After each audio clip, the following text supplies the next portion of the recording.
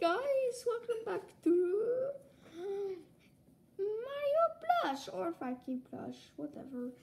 It's your boy Mario here with another plush episode. But right now I'm just hungry. Big Chef Big Mom, where is my breakfast? Oh, I'm almost done. I got the French toast ready. I just gotta make it and put it on the stove now.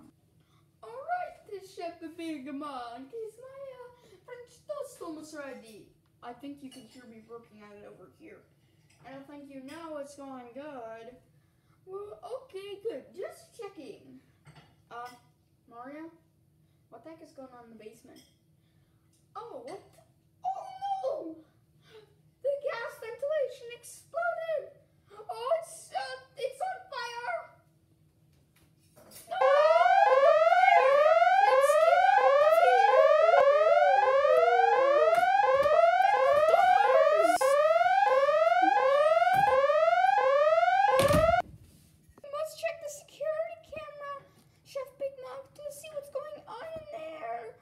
Me tap.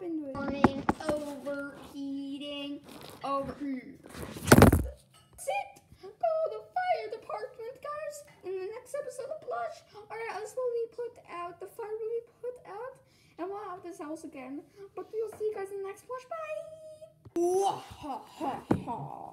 Hello, boys and girls. The flush isn't over yet. I will be doing the outro.